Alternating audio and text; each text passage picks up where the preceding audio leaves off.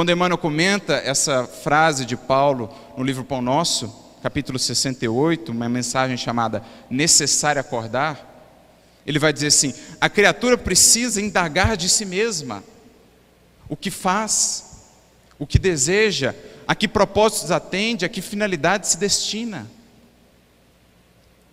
Ela precisa examinar-se, emergir da animalidade e senhorear o próprio destino. Porque muitos de nós, dirá Emmanuel, somos conduzidos pela vida como sonâmbulos. Fala sem Deus, fala sem fé, fala sem espiritualidade, como se algo distante fosse.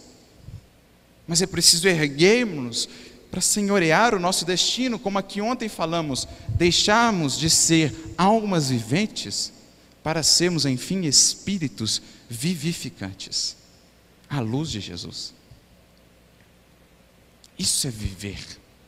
Essa é a vida abundante que vamos aos poucos consolidando em nós, desprendendo-nos das amarras que nos sufocam, que nos prendem a uma vida muito aquém daquela que estamos destinados cada um a ter.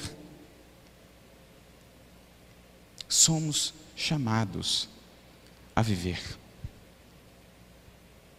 Então, que essas palavras de Jesus possam agora ecoar, ecoar em nosso coração e encontrar adesão. Para que a gente possa mudar esses quadros tristes que aí estão. Se não temos conseguido fazer com que a vida, os modelos de vida que temos cultivado aqui, sejam tão atraentes, sejam tão convidativos, para fazer com que os espíritos que agora estão chegando possam permanecer conosco, algo a gente precisa mudar. Porque crianças e, sobretudo, jovens estão a partir.